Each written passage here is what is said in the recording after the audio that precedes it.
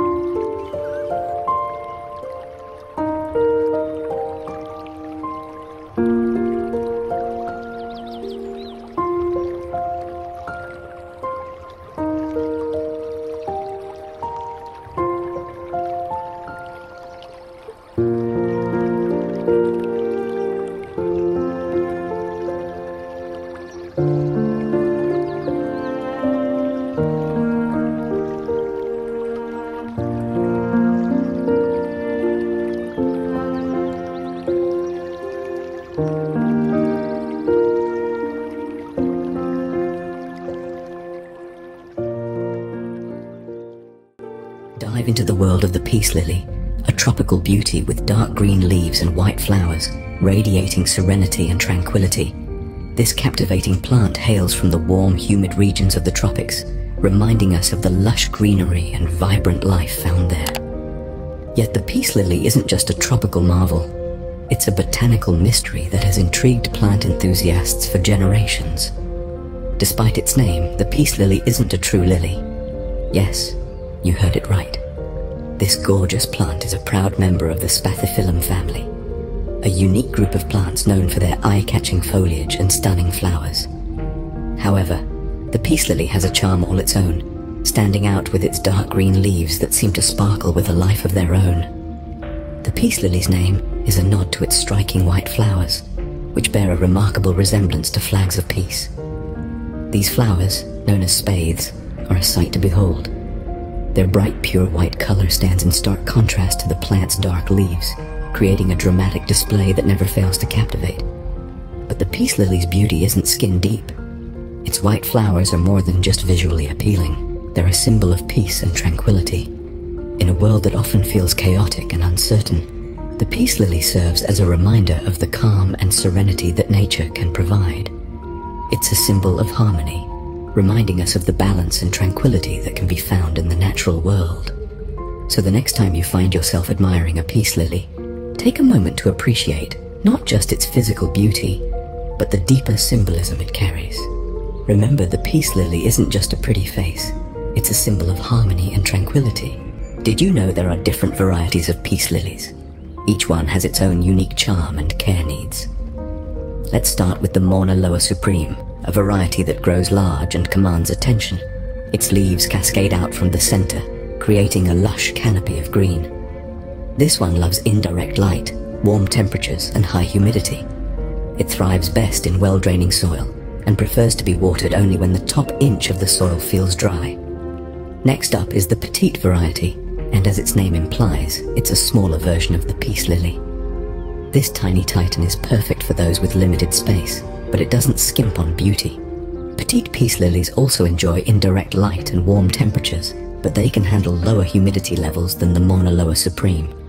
Then we have the Sensation, the largest of the peace lily varieties. This showstopper can grow up to 6 feet tall with broad dark green leaves. Like its counterparts, the Sensation loves indirect light and warmth, but it requires a bit more watering to keep its larger foliage lush and healthy. Moving on to the Platinum Mist, this variety is known for its silvery green leaves that appear to be dusted with a light frost. It's a stunning addition to any plant collection. Platinum Mist peace lilies need bright, indirect light to maintain their unique color and prefer a humid environment. Last but not least, we have the Wallisii, a compact variety with slender, pointed leaves. This variety is perfect for those who want a peace lily with a different leaf shape. Wallisii peace lilies enjoy similar conditions to the other varieties. However, they are a little more tolerant of cooler temperatures. As you can see, each variety has its own personality and care needs. Which one do you think would thrive best in your home? Now that you've chosen your peace lily, how do you ensure it thrives and flourishes? It's a question that warrants a thoughtful answer, as the care and maintenance of these plants involve a few crucial steps. Let's delve into the details. Firstly, the importance of fresh air cannot be overstated. Just as we crave a breath of fresh air, so do our leafy friends. Ensuring your peace lily has access to clean fresh air can significantly boost its health. This is not to say your peace lily needs to be outdoors. Simply placing it in a well-ventilated room is often sufficient. Next, let's talk about fertilization. While peace lilies aren't particularly demanding when it comes to nutrients, occasional fertilization can help them grow more robustly.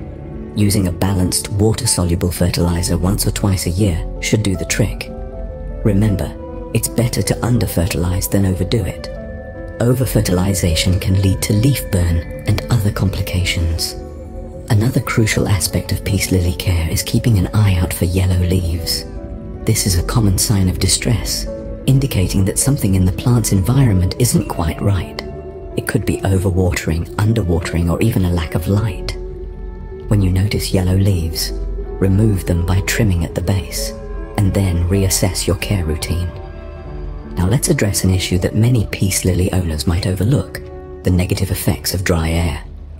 Peace lilies are tropical plants, which means they thrive in humid environments. Dry air can lead to brown leaf tips or even wilting, to prevent this, you can place your peace lily in a bathroom or kitchen where the air tends to be more humid, or you could use a pebble tray filled with water under the plant.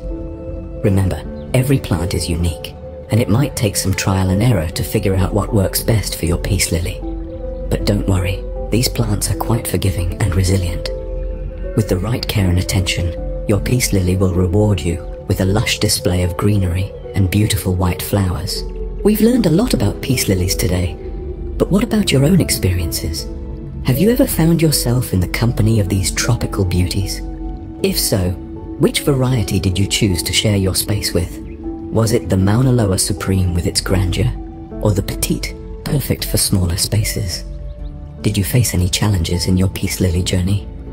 Perhaps you had to grapple with the right balance of light and water, or maybe you struggled with finding the perfect soil mix.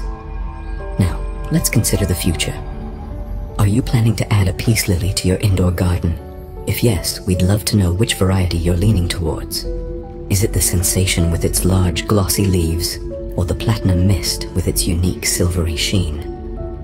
Whether you're a seasoned peace lily grower or a novice, we hope this guide has given you valuable insights into these beautiful plants.